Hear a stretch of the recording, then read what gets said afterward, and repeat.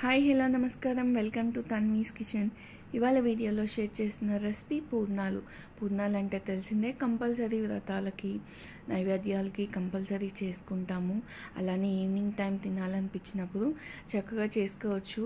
And ఎలా చేస్తానో నా స్టైల్లో చేసి చూపిస్తాను. సో దీనికోసం ఫస్ట్ ఒక కప్పు మినపప్పు అండ్ ఈక్వల్ క్వాంటిటీలో ఒక కప్పు బియ్యం నానబెట్టేసుకోవాలి. రేషన్ బియ్యం అయితే చాలా బాగుంటుంది పూర్ణాలకి. సో ఇలా వాష్ చేసుకొని నీట్గా ఒక త్రీ హవర్స్ గట్టిగా త్రీ హవర్స్ అయినా నానబెడితే చక్కగా గ్రైండ్ అవుతుంది. నెక్స్ట్ ఇంకొక బౌల్ తీసుకొని వన్ అండ్ హాఫ్ కప్పు పచ్చి శనగపప్పుని నానబెట్టుకోవాలి. ఒక గంట పాటు నానబెట్టుకొని కుక్కర్లో యాడ్ చేసుకొని మెత్తగా ఉడికించుకోవాలి.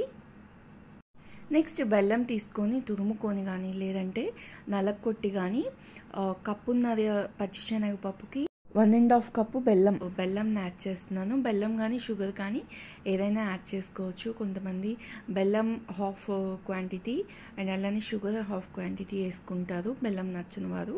సో మనకి ఎలా కావాలంటే అలా యాడ్ చేసుకోవచ్చు. వన్ అండ్ హాఫ్ పచ్చిశనగ పప్పు క్వాంటిటీకి వన్ అండ్ హాఫ్ కప్పు బెల్లం. వేసుకుంటున్నాను ఇంకొద్దిగా స్వీట్ బాగా తినే వాళ్ళైతే ఇంకొంచెం కూడా యాడ్ చేసుకోవచ్చు. అండ్ ఒక హాఫ్ గ్లాస్ చిన్న గ్లాస్లో ఒక హాఫ్ గ్లాస్ వాటర్ని యాడ్ చేసుకొని జస్ట్ ఒక బాయిల్ రాగానే హాఫ్ చేసుకొని స్ట్రైన్ చేసుకోవాలి. ఇలా వడకట్టడం వల్ల ఏదైనా దుమ్ము కానీ పిప్పి కానీ ఉంటే స్ట్రైన్ అయిపోతుంది అనమాట ఒక గంట పాటు నానబెట్టుకున్న పచ్చిశనగపప్పుని ఒక కుక్కర్లో యాడ్ చేసుకొని మెత్తగా ఉడకనివ్వాలి. వాటర్ మునగర యాడ్ చేసుకుంటే చాలు. ఎందుకంటే మనం ఆల్రెడీ నానబెట్టుకున్నాం కాబట్టి వన్ అవర్ ఎనఫ్ సరిపోతుంది. అండ్ అడిషనల్గా యాడ్ చేసినా కూడా మళ్ళీ వాటర్ని మనం స్ట్రెయిన్ చేసేసుకోవాలి.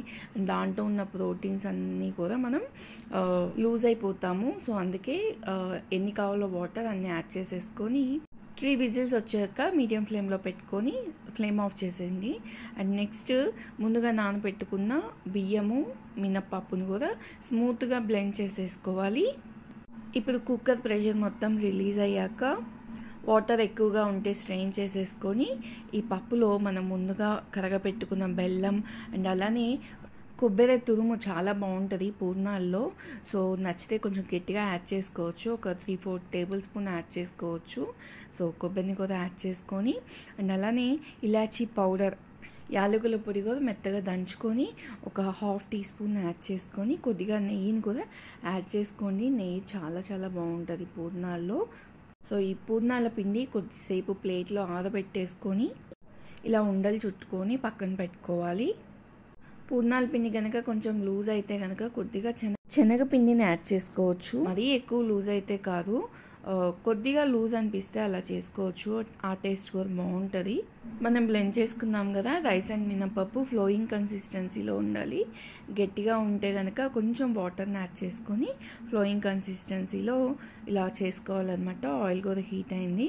ఇప్పుడు మన పూర్ణాలని పిన్లో యాడ్ చేసుకొని బాగా పైన కోట్ అయ్యేలాగా ముంచి తీసి ఆయిల్లో వేసుకొని బాగా వేగనిచ్చి తీసుకుంటే అంతే పూర్ణాలు రెడీ అయిపోయినట్టే. రెండో సైడ్ ఫ్లిప్ చేసుకునేటప్పుడు కొద్దిగా జాగ్రత్తగా ఫ్లిప్ చేసుకుంటే చాలు ఆయిల్ కూడా పాడకుండా అండ్ పూర్ణం పిండి కూడా బయటికి రాకుండా చక్కగా పూర్ణాలు రెడీ అయిపోతాయి. సో మన ట్రెడిషనల్ స్వీట్ రెడీ అయిపోయినాయి పూర్ణాలు. అండ్ ఈ వీడియో మీకు నచ్చితే తప్పకుండా లైక్ చేయండి షేర్ చేయండి ఛానల్ని సబ్స్క్రైబ్ చేయండి. Thank you for watching